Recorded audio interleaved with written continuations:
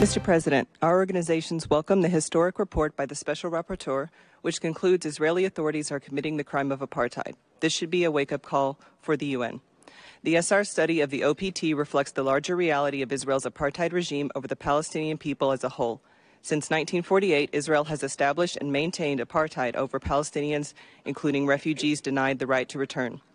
In 1948, Israel institutionalized the transfer and dispossession of the indigenous Palestinian people. In 1967, Israel extended apartheid to the OPT. To maintain apartheid, Israel uses repressive policies to subjugate Palestinians, including arbitrary detention, torture, collective punishment, and persecutes HRDs and organizations.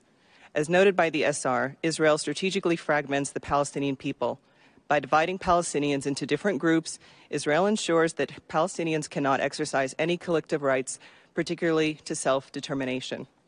For 73 years, the international community has enabled Israeli impunity. Double standards, including those propagated by Europe and the U.S., severely undermine international law. We call on UN member states to recognize the reality of Israeli apartheid, to reconstitute the UN Special Committee, to implement the Apartheid Convention and to adopt effective measures, including sanctions, and pursuing accountability through the ICC and universal jurisdiction. Now is the time to act to dismantle Israeli apartheid. Thank you.